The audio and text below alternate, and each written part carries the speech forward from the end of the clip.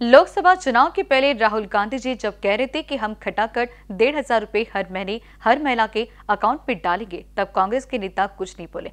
और जब अब महायुति सरकार ने अपना बहुजन हिताय, बहुजन सुखाय बजट पेश किया तो महाविकास आघाड़ी के सभी बड़े नेताओं द्वारा विरोध हो रहा है। उद्धव ठाकरे ने उदाहरण के साथ ये बताया है कि कांग्रेस के नेता कैसे धोखेबाज होते हैं। तभी नाना पटोले उद्धव जी के बाजू में खड़े होने के बावजूद भी जवाब नहीं दे सके। ऐसी प्रतिक्रिया आज अरुण सावंत इनके द्वारा दी गई है। 2024-25 के लिए महाराष्ट्र सरकार ने, महायुति सरकार ने यानी आदरणीय मुख्यमंत्री एकनाथ राव जी शिंदे और दोनों हमारे उप मुख्यमंत्री आदरणीय देवेंद्र फडणवीस जी और आदरणीय अजीत पवार जी ने बजट जो है वो पेश किया है। काफ़ी अच्छा अच्छा बजट पेश हुआ है, जिसमें गरीब, महिलाएँ, किसान, कामगार, विद्यार्थी एस सी की जो पिछड़ी जातियाँ है, उनके लिए काफ़ी अच्छे फ़ायदे मिलेंगे, ऐसी योजनाएँ उसमें लागू किए लेकिन इतनी अच्छी योजनाएँ लागू की है कि विरोधी पक्ष जो हमारा महाराष्ट्र का है, उनको उसी समय से जुलाब शुरू हुए, वो आज तक रुक नहीं पा रहे हर आए दिन इस बजट के ऊपर गलत बातें फैलाने की कोशिश वो करने में लगे क्योंकि अगर ये बजट सचमुच में अगले हफ़्ते से लागू हुआ गया, किया गया, अगर इसमें गवर्नमेंट हमारी सक्सेस होती तो इनके लिए मुँह दिखाना भी मुश्किल हो जाएगा। इसीलिए इनके सारे नेता, फिर उसमें उद्धव ठाकरे जी हो वडेट्टीवार हो, नाना पटोले जी हो, या संजय राउत हो, या आदित्य ठाकरे हो, हर नेता बयानबाजी में लगा है, वो भी गलत बयानबाजी की ये सब कुछ होने वाला नहीं है।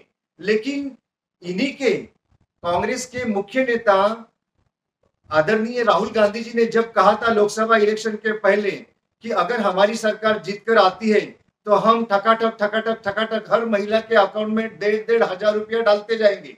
लेकिन ऐसा हुआ नहीं, क्योंकि जनता ने उन्हें सत्ता पर बैठने से नामंजूर किया। तो जनता ने आदरणीय नरेंद्र मोदी जी को प्रधानमंत्री के रूप में स्वीकारा।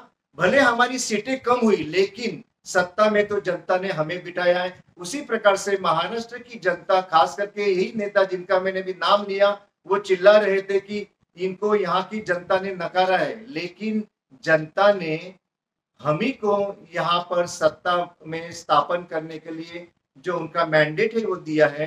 अगर, अभी इनके मन में डर क्या है? अगर हमारी महायुति सरकार ये जो घोषणाएँ हमने अभी की है, उसमें हम सफल हो जाते हैं अगले हफ़्ते से तो इनको मुँह दिखाना भी मुश्किल हो जाएगा।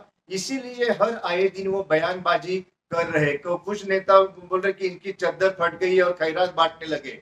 लेकिन वो चद्दर वगैरह किसकी फट गई है और किसकी फट गई है, वो पूरी जनता जानती है और हमें पूरा विश्वास है महाराष्ट्र की जनता आदरणीय मुख्यमंत्री एकनाथ जी शिंदे के नेतृत्व में अगला विधानसभा चुनाव अच्छे वोटों से जीत जाएँगे और ये जो हमने आज जनता के बेनिफिट के लिए जो योजनाएँ ज़ाहिर किए, वो उसके पीछे हमारी एक नीति है, हमारा एक अभ्यास है।